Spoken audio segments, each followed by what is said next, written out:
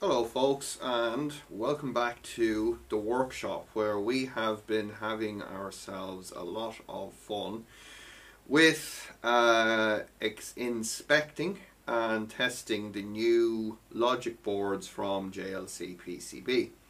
Now for those of you that may not be familiar with what's going on I suggest having a look at a recent video uh, that I entitled New Boards for 2020 where we discussed the whole process of ordering prototype uh, PCBs from the Chinese company JLC PCB. Now, one thing I just want to make expressly clear here at the minute is that while I have been in touch with JLC, there is at this time no sponsorship involved. Uh, there may be in the future, and if that is the, the case, those will pretty much be the first words out of my mouth. Now, so what we're going to do today is we are going to have a close look at the five logic boards uh, that JLC have built for, for me. And we're going to be focusing pretty much on the build and uh, the quality rather than anything to do with the functionality of tons of videos out there explaining that.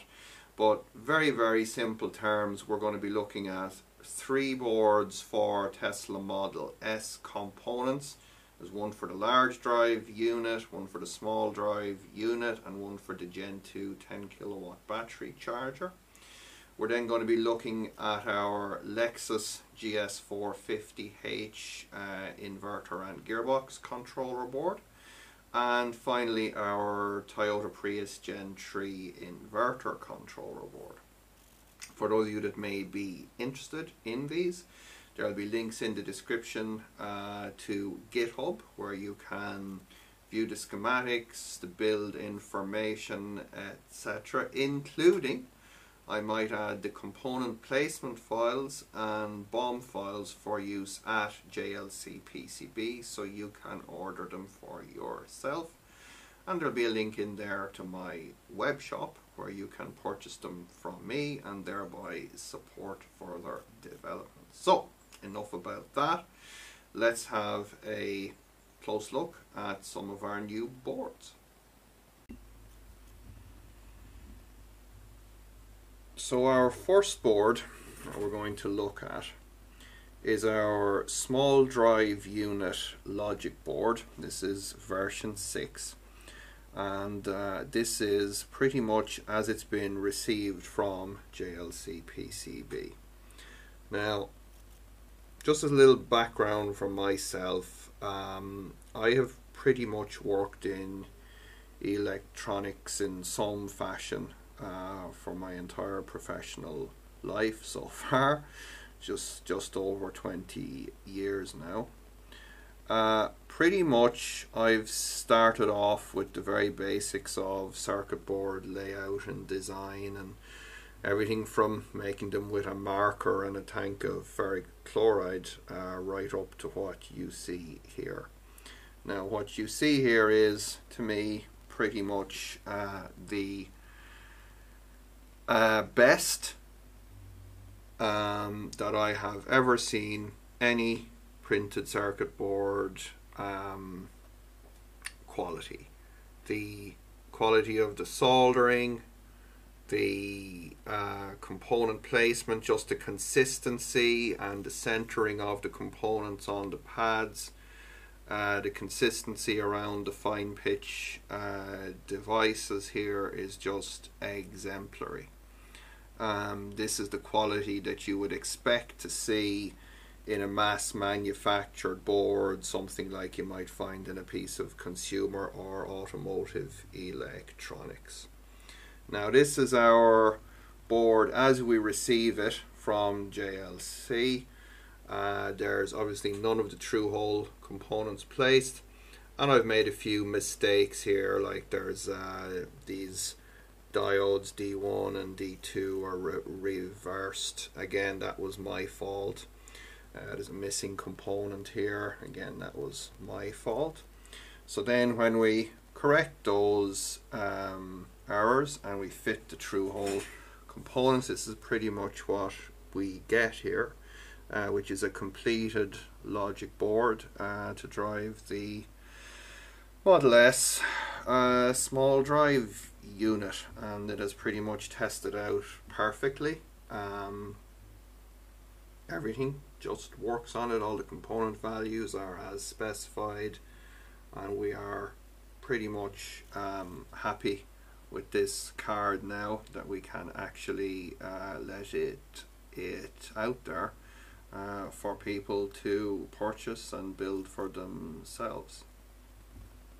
So pretty much the same thing here now uh, with our large drive unit, logic boards. Um, this is as we receive it from JLC with pretty much most of the surface mount uh, components placed.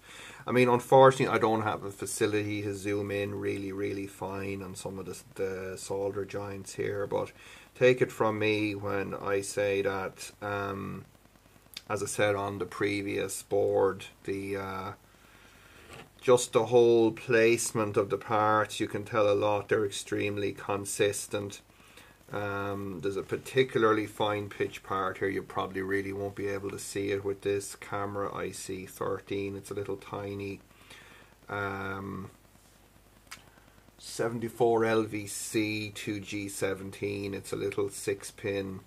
Um, it's a little six pin. Uh, what is it?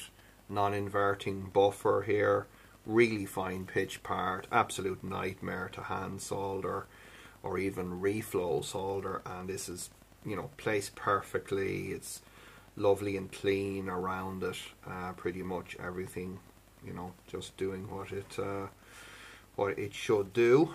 Um, lastly then on the Tesla stuff we have our um, Gen 2 charger board. Let me just try and prop this up a little bit here for you. There we go so hopefully you'll be able to see this. Um, again, this is a fine pitch microcontroller and STM32 part here. I've placed the, you know, the connectors and the through hole stuff here on it. Um, been doing some experimentation, but everything again, all the all the SMT on here is just absolutely first class. Uh, you know, I just I just don't know what else to say. It just works basically. Um, then we will move on to our, let me see here. Let me get one of the bare ones for you.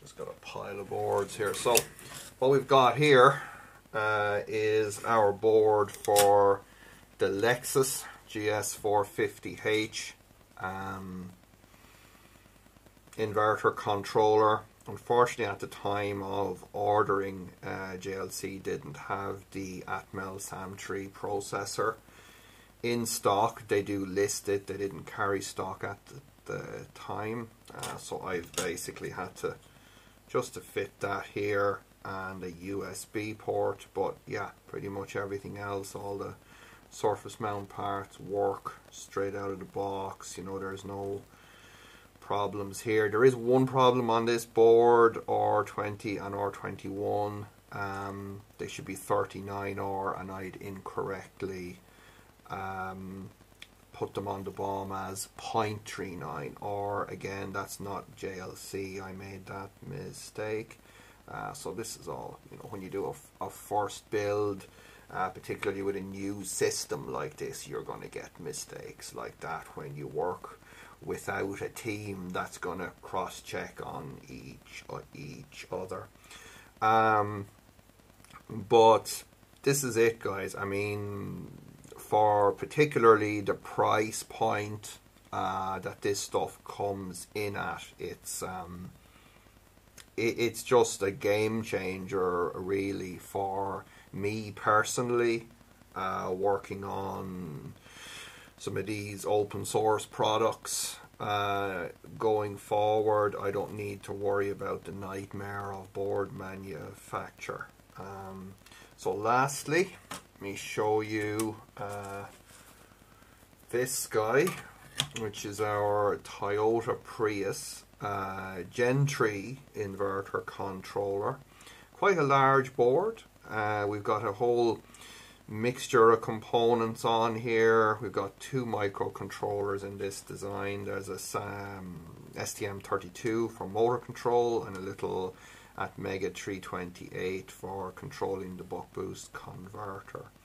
But one of the things that's quite it's quite interesting here is that we have on this and some of the other boards we've got a wide variety of component sizes from 0805 resistors and caps all the way up to these large inductors and larger capacitors and voltage regulator and so forth. And the most interesting thing is that it, it, with a board like this, uh, one of the pitfalls that you will get is your thermal profile will either under solder the larger parts or over solder the smaller ones and none of that has occurred here. Uh, so very very professional uh, build quality. And again everything just uh, you know every even these components to line up on them is just nearly perfect. Um, the SOIC devices are absolutely spot on the middle so I, I just you know beyond this guys I don't really know what to say other than um, I can safely recommend JLC PCB if you want to get boards built at a very good price. So folks, I hope you've en enjoyed this. I'll try and keep it reasonably short today for you. Uh, it was just really, I very much wanted to make this video, but I needed the time to get through the boards and to get a real impression of the build quality uh, before doing so.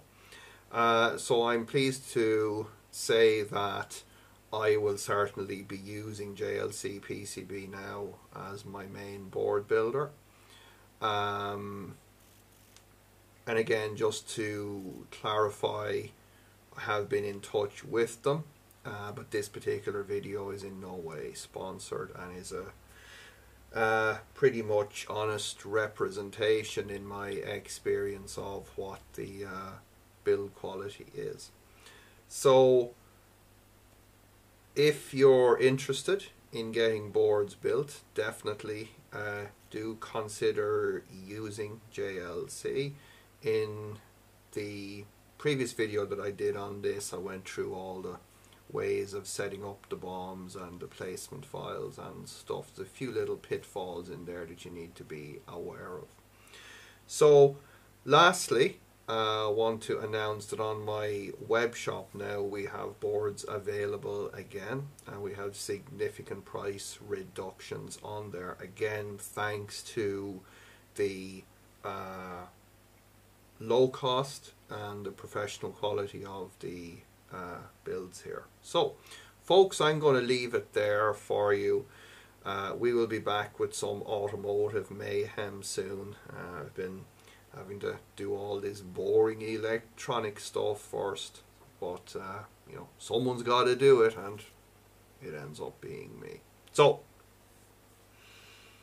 don't forget to dislike, don't share, and if you are subscribed, unsubscribe. Uh, we will see you in the next video. And until then, happy PCB building.